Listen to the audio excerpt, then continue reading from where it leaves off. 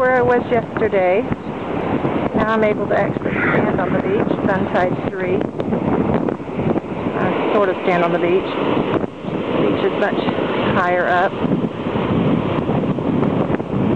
And the dunes are cut in half. All the uh, brown stuff you see laying out that far are the roots of the dunes, because that was where the dunes used to be. So,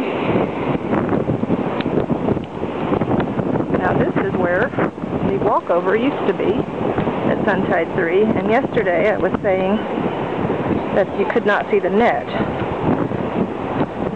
and the sand was rushing up over the berm. Well now, you can hardly climb up the berm. Well, that's, I guess that's an exaggeration. But you have to really step up. This the sand was up to the level of that wood right there.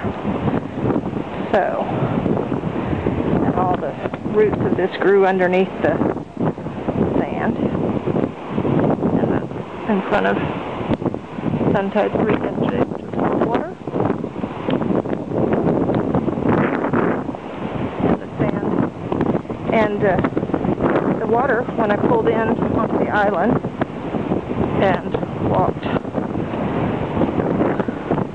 or drove down, I couldn't turn on Amberjack because there was so much water filled my car. So I went down to Tarpon. Oh no, Red Snapper, the one by the Blue Marlin. Turned there, and the water came up to my top of my tires. Okay, this is the water in front of The Blue the Marlin. Blue Marlin.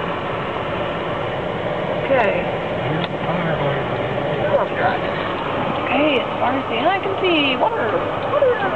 Oh, I don't want to be stopped here. Come on, take a look at these rocks. Stop in! Whoa! That's a safari. Okay. What? What's that? My bagua, my bagua. Touch, John. Now you messed it up for me, and I won't be able to post it on YouTube. Oh, Yay! Because you are. Well, we're seeing a boat.